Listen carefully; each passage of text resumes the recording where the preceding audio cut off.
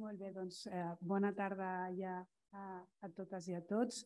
Uh, bueno, jo soc Judit Monge, soc la subdirectora de Suport Judicial i Coordinació Tècnica de la Generalitat i bueno, m'han encarregat que faci la cluenda d'aquest acte. La veritat, no us, no us menteixo, he arribat de miracle, pensava que no arribava, però, però bueno, sí que doncs, m'agradaria doncs, bueno, mm, pensant una mica no, en la tasca que té l'EATAF no? I, i que realitza cada dia i que comporta doncs, una sèrie de, de decisions eh, complexes amb un impacte molt directe a les persones, amb un impacte molt directe a les famílies, als infants, als adolescents, als pares, a les mares, i que moltes vegades posen en joc no? doncs els nostres propis principis, els nostres valors, inclús la, el nostre propi mètode. No?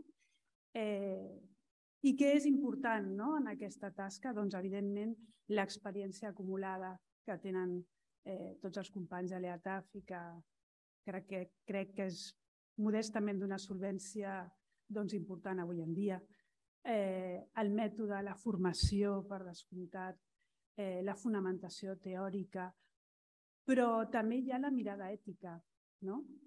Eh, la mirada ètica que és una mica una llum que hem de tenir sempre encesa i que, i que ens ho ha d'il·luminar tot. No? I és aquí on jo crec que, que pren valor doncs, la tasca eh, d'aquest comitè d'ètica i, i aquest codi que avui es presenta. No? És, en, és en aquest punt no?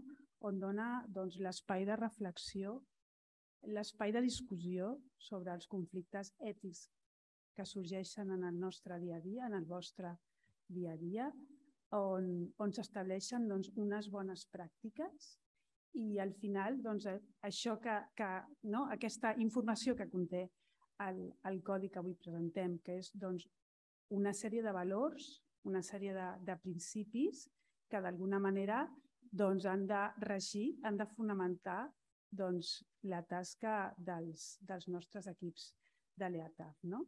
I, I bé, i en aquest sentit doncs, és, és on jo volia incidir i, i agrair, agrair la participació eh, en primer lloc de, de, de tots els, els membres del comitè per la tasca que feu, eh, que, bueno, que va començar el 2020, que segueix, a la doctora Martín eh, per tota la tasca realitzada i, i tot l'enriquiment no? que, que ha portat amb aquest comitè i, evidentment, esperar que, que la propera persona doncs, que faci aquesta tasca de tutoratge doncs, eh, desitjar-li tota la sort i, i tota el, la bona feina que pugui fer.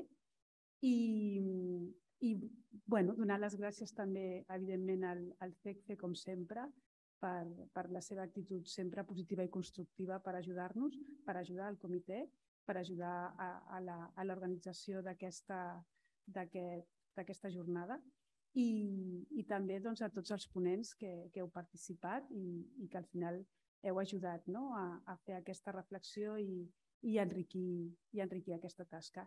Doncs moltes gràcies.